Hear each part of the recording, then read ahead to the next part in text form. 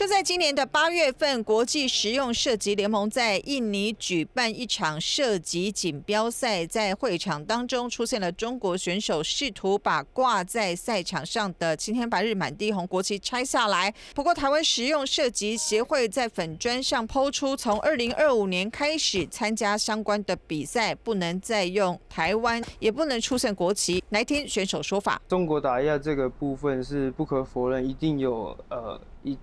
一些受影响了，但是最大的主因还是